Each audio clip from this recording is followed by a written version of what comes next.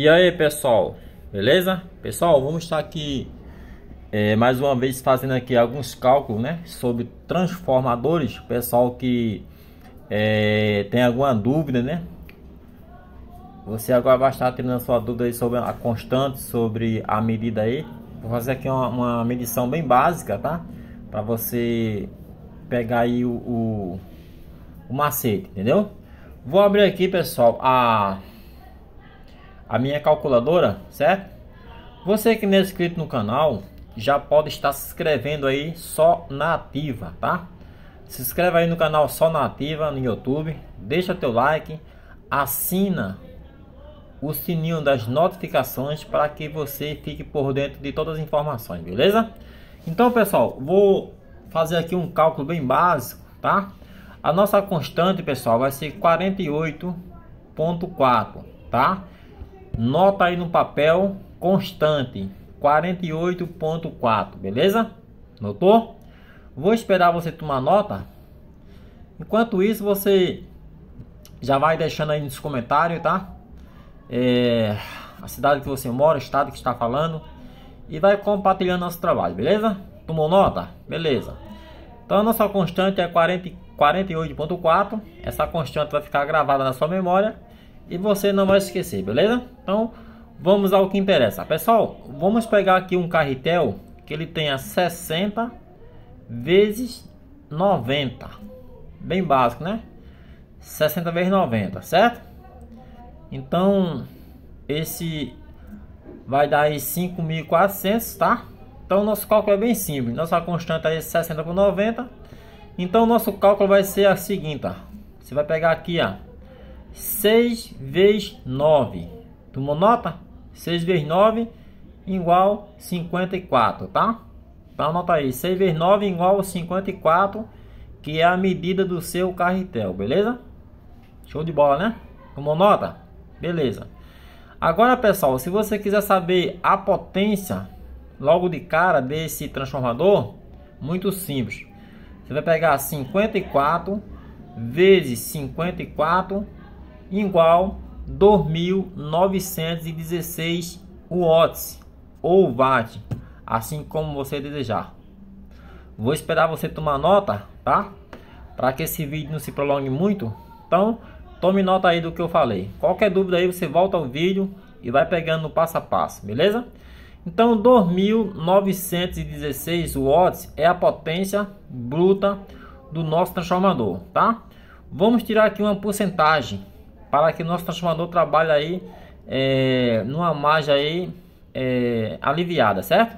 Então vamos botar aqui menos é, menos 24% igual a 2.216 watts. Então, se eu pego um carretel que tem uma medida de 60 por 90 então 6 vezes 9 vai ser igual a 54. 54 ao quadrado 2.916.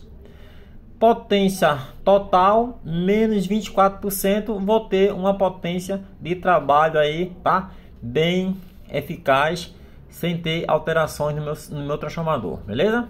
Então essa potência aí de 2.216 watts é uma potência bem considerada. Você pode chegar aí uns 2.500, tá? Sem dor de cabeça. Agora, pessoal, vamos saber aqui o fio, ou seja, vamos saber o número de expira ou volta para o 220 ou para o 14 volt, né? Para o 24 volt que você vai usar de bateria ou para o 14 volt, beleza? Então, o nosso cálculo foi 54, tá? Nosso resultado. Então, você vai pegar agora 48.4 dividido por 54, certo? Igual a 0,896. Aí você quer saber o número de volta para o 220? Multiplica vezes 220, beleza? Vai ser igual aí a 197 volta. 197 volta, certo? Tomou nota aí? 197 volta aí para o 220 você vai fechar aí nas 200 voltas, certo? Para o 220.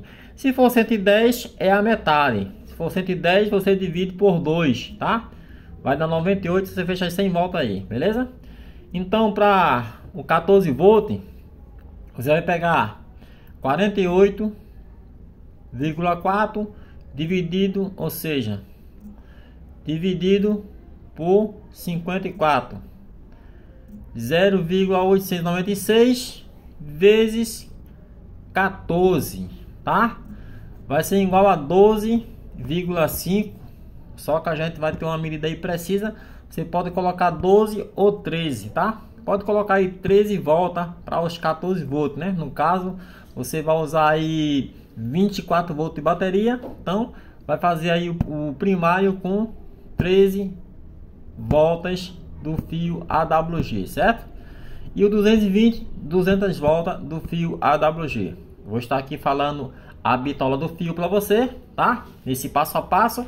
E você, se tiver alguma dúvida, volta ao vídeo, tá? Mais uma vez, toma nota de tudo bonitinho e você vai ficar fera, beleza? Então, pessoal, aí a gente já tem o um número de volta para o 220 e temos o número de volta para o nosso 14 volt do nosso transformador, beleza?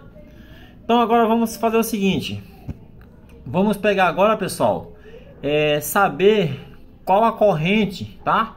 Para eu saber o fio que eu vou utilizar, tanto para o 220 e para o 14 volt, eu tenho que pegar a potência bruta, certo? A potência bruta. Então minha potência bruta foi o que? 2000 916 watts, certo? Então você pega 2216 watts, divide por 220 volts. Você vai ter uma corrente de 13,2 ampere para o 220, certo? É, você vai na tabela, na tabela AWG e vê qual é o fio que corresponde a essa corrente de 13 ampere, beleza? Então, Logo de cara, automaticamente, você vai editar aí o fio 11, fio AWG 11, para esse transformador de 60 por 90, certo? Então agora, pessoal, vamos pegar a nossa potência. A gente já achou aí o fio para o 220, agora vamos achar o fio para o 14 volts, certo? Então você vai pegar aí 2.916 watts, certo? Dividido por 14. Então eu vou ter uma corrente de 208 amperes, certo? 208 amperes de corrente. Ou seja, vamos pegar aqui essa corrente aqui, vamos pegar essa potência de 2916, vamos dividir pela tensão de bateria que vai ser 24 volts, tá? Não divide pelos 14 que eu falei não, divide por 24 volts dividido por 24 volts, que vai ser a tensão de bateria. Então nossa corrente vai ser 121 ampere, tá? Então você vai utilizar dois fios AWG4. O fio AWG4, pessoal, ele tem uma corrente aí de 63 amperes, certo? Então dois fios vai dar aí 126 amperes. Então tá dentro do padrão. Dois fios AWG4. Se não tiver o fio AWG4, caso você não encontre no mercado, você pode comprar o AWG7, tá? O AWG6, entendeu? E pode enrolar os dois fios aí, que vai dar aí um funcionamento perfeito, beleza? Então, pessoal, é, sobre essa questão aqui, eu creio que o pessoal não tem nenhuma dúvida, tá? Então, o cálculo do transformador é bem simples, tá? A nossa constante é essa, de 48.4, beleza? Então aí, a medição do carretel vai ficar de acordo aí a cada carretel que você for utilizar, certo? Esse carretel aí que eu dei a medida é um carretel de 60 por 90, tá? Mas no comércio você vai encontrar carretel de 180 por 120, vai encontrar carretel de 60 por 80, 60 por 75, o cálculo é um só, tá? Você vai se basear somente na constante, que a constante é eficaz, tá? 48.4. Então, pessoal, é isso aí. Se você tem alguma dúvida, se inscreve no canal Solda Ativa, tá? Deixa teu comentário, deixa tua dúvida. Estarei fazendo aí um novo tutorial, beleza? Então, pessoal, um forte abraço e até o próximo tutorial.